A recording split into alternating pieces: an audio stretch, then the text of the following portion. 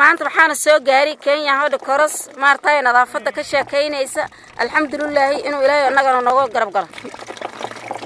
Even the mothers in the far-flung villages in Mandera were not left behind in the fight against COVID-19 that is spreading very fast across the world. waa arkayseen aan u malaynaa sida loo farxalanhayo oo jeermiska in laiskaga celiyo looga hortaga la raba.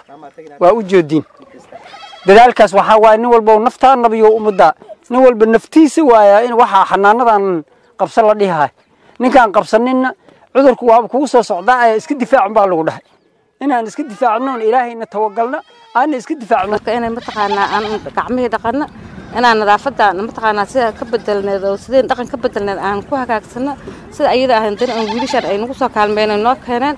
Marka sida ayada aan ogaanaynaa un seeruburar unahan The communities living across the borders of Somalia and Ethiopia are being taken through various sensitization programs that will protect them from contracting the deadly virus that can easily transfer from one person to another. The Kenya Red Cross Society volunteers at Mandera branch are not taking chances as they sensitize the community on the prevention of the COVID-19. We have gone as Kenya Red Cross volunteers from Mandera branch to pastoral communities where we have actually created awareness of this pandemic disease, Conora virus, that is actually disrupting uh, the life of uh, Kenyans. We do hereby give them ways in which they can able now uh, to wash their hands and we also educated them on how to wash their hands as well.